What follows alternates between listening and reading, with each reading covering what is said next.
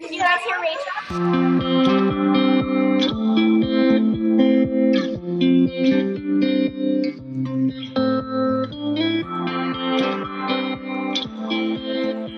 You know, I don't even know what the teenage years are like. I don't even know. We haven't even dealt with that, Yeah. with that whole part of life.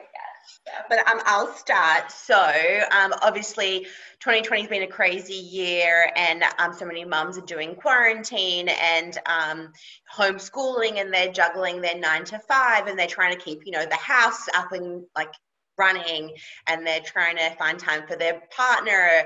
What are your tips on creating boundaries and staying present, and then also staying patient with the kids? It's so hard. I mean, I think that's one of the biggest challenges with this year is that there are no boundaries. Everything is just one big blurry mess. You're home with the kids, you're working from home, um, you know, if you when when you're balancing when you're balancing homeschool, the childcare is much more challenging. If you had childcare in the past, maybe you don't have childcare available. Maybe you didn't have childcare because you had school and you didn't need it, and now you don't. Um, to me, it's really complex and messy, and I feel like there are no boundaries at all. And that makes it really hard. I mean, there's days that I feel like I don't stop until 10 p.m. Um, you know, because the kids, you get the kids to sleep, and then you have to clean the kitchen, and then you have to like Yeah. deal with whatever thing is left. And so it's just, it's really what I'm finding is that it's 24 7. And I, I think it's hard. I think just knowing that other moms are in the same boat as you and, and probably struggling. And not just moms, it's the whole family. I mean, you know, because if, if you're lucky and you have your family close by, they can chip in. But I'll say that, you know, I feel like I've had to lean a lot harder on my family than in normal times Mhm. to get through it because because it is so complicated. And and at the same time, you know, we're very fortunate that the the the things that I'm juggling are work and children and family and not having to deal with, you know, things more serious illness and, and aspects like that. So, you know, and, and I know that's not true for a lot of families. So I think also just trying to keep perspective on what your blessings are, what you're grateful for, taking time to, you know, there are there are other parts of life too that are more efficient because we're not really going anywhere. So all that time with the commute and getting ready and going somewhere coming home, you know, you, you have that time now to yourself.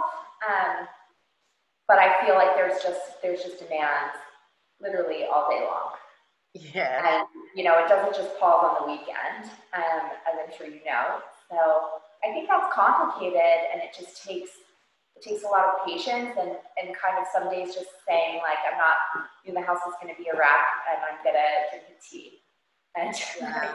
because if you're trying to constantly manage the house, manage your work, manage the kids, it just doesn't leave anything. Is what I find for myself. So you know, taking those days where I feel like I'm, I'm pushing myself hard to do it all, but also when I when I need a break, trying to listen to that and say like the dishes can set, you know, or whatever it is, um, so that so that you can. Because sometimes just making a cup of tea and sneaking some chocolate or like you know eating Cheetos in bed makes you feel a whole lot better, and you need to be able to Yeah. do that. And being a mum, I think we put ourselves on the back burner. It's like it's kids first. It's like if you have a partner, it's your partner second. Then it's like your job comes third, and then all these other things, and then you kind of come last. So as a woman, we put ourselves. Well, I feel like I put myself last, and then I'm the one in the, long run. It's like my health suffering. I wonder why, or I've got no time for myself. I wonder why. But uh, do you have any Yeah. tips? Like you said, having a cup of tea. It's even just finding those two minutes to yourself.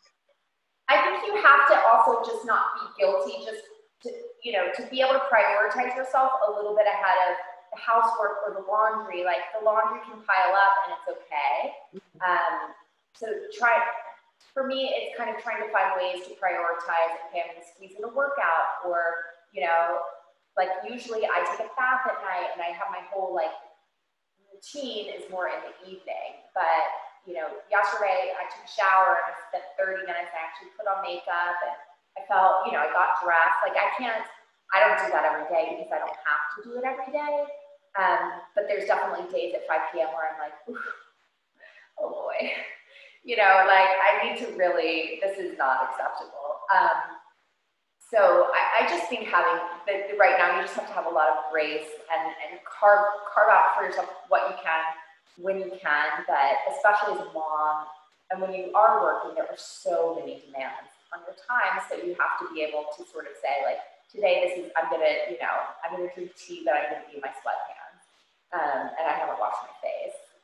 Yeah. this is another day where it's like, you know, getting dressed and taking a shower in the morning, which, which is not what I normally do, make you know makes me feel better. So I do think it is important to listen to kind of where you are and what you need, and, and just you know, maybe it's carving out 20 minutes to talk to a friend on the phone. That's important too, because there's a lot of isolation that people are dealing with, um, or talk to a family member or someone else who's more isolated than you, because, you know, lots of people are quarantined by themselves, um, which is a whole different type of challenge. So I think just sneaking in that little, those little bits of time and sort of saying like the list can wait is important because the kids are so demanding. You can't really, you can't really put your kids on hold you know, like that doesn't work, but some of the other stuff, it comes with the kids, it comes with work.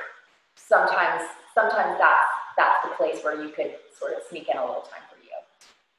Yeah. That's what I and keeping active, not just the kids active so that they can kind of focus more, but keeping the whole family active is good for everyone's mental health. So, like you said, you try and get out twice a day and try and keep the kids active.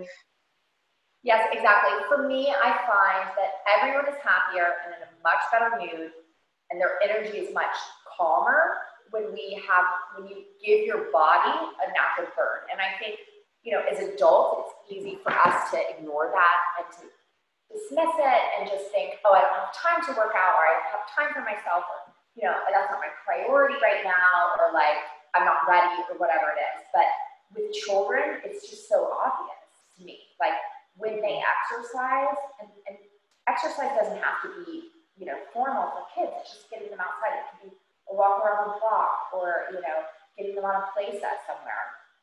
Any place where they're like really when they're outside and burning, and when, when we don't, I mean, our kids will literally like run laps through the house, um, you know, which is fun for about five minutes, and then someone falls, and somebody else, you know, something happens. Yeah.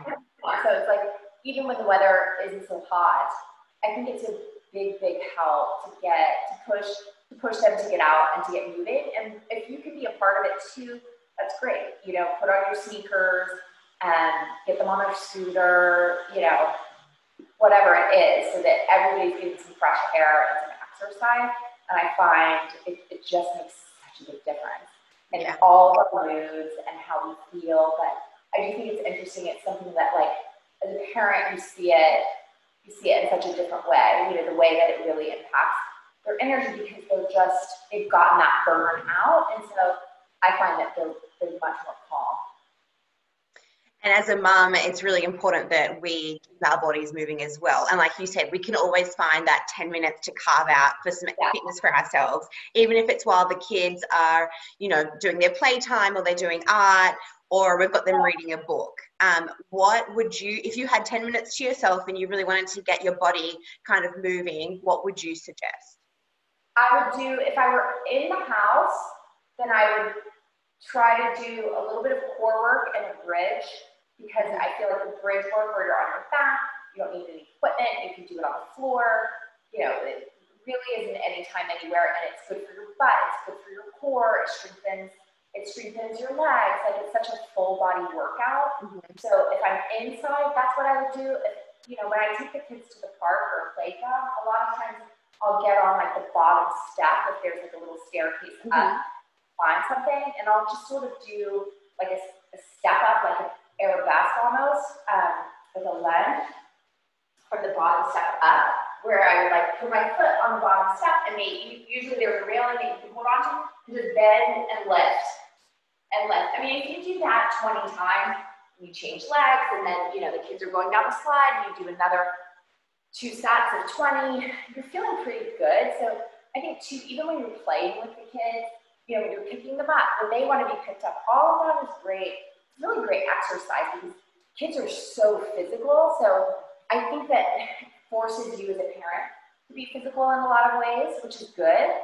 especially when you're creative about it and you're thinking, you know, when you think of it through that lens of like having fun, and they love it. I mean, you know, you saw BB, the little one I can still pick up really easily.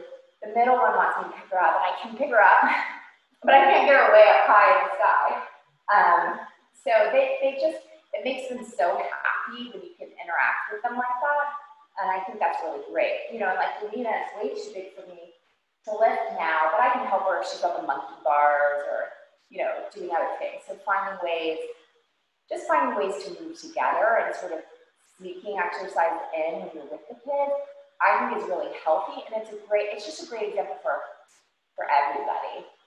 You gave me a great tip. Um, we were talking about doing a class at home, and um, I think it's really, really helpful for mums that are kind of at home. And you had mentioned getting the kids involved in the class, but obviously their attention span isn't that long. So having art and crafts on the side ready to go.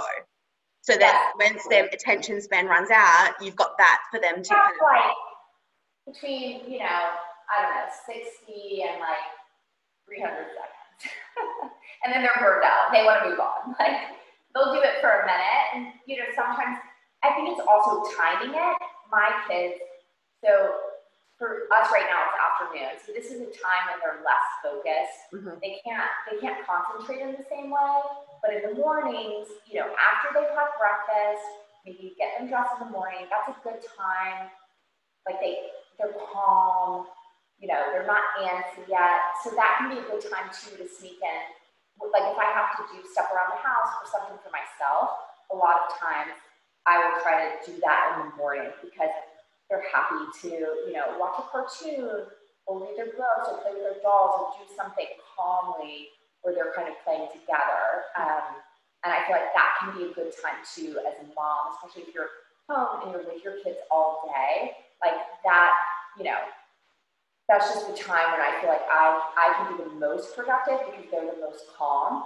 And they're pretty different ages. You know, we have two almost five and an almost seven year old, but everybody in the morning is pretty calm, happy, and well behaved after they've eaten. So I think too, looking at your schedule, you know, it's going to be really hard to do that at four or five o'clock. Um, and it's harder, you know, sometimes I can squeeze in a little bit of quiet time in the afternoons, like after we have lunch, um, you know, sort of, and what would have been their nap time is when they were younger, like we call that quiet time. And I might let them watch the movie or just read books and just have some sort of like calm, quiet time. And for me, a lot of times that's when I'll schedule phone calls and things for work. And I'm usually squeezing work in, but it's also a time of day. If you look at trying to schedule your exercise in those moments where the kids are calm and sort of quiet, that's a good way um, to get it in. Even 10 minutes a day, it's better than nothing, right? Absolutely, yes. And I think that's so important to look at it like that and to look at, you know, I try to even look at like the way we eat as a family like that. It's like any time we have any fruit or vegetable, it's like everything is like a gold star, you know, like if it's if it's fresh and it's healthy, then that counts and that's terrific. And so rather than like obsessing over the things that maybe aren't as healthy, I just try to focus on like, great, you had an orange, you know, oh, the, the kids really love grapefruits right now. You know, some of them like, they like all different things. Each one likes a different fruit, sort of in a different way. But also when you're eating it together as a family, the kids are more into it. You know, if you're eating grapefruit, they want to eat grapefruit. Um, so those sort of things too. I think health is like looking at health kind of as whole and and how you want to live. You know, it's not just modeling it for them, it's really living it as a family together.